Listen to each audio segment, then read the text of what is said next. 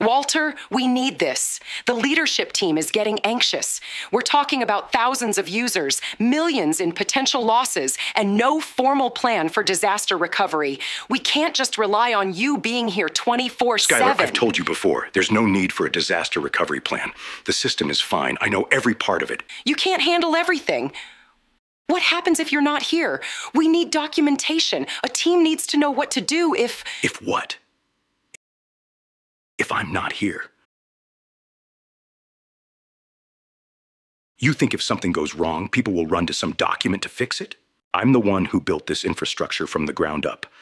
Every line of code, every server configuration, every piece of architecture.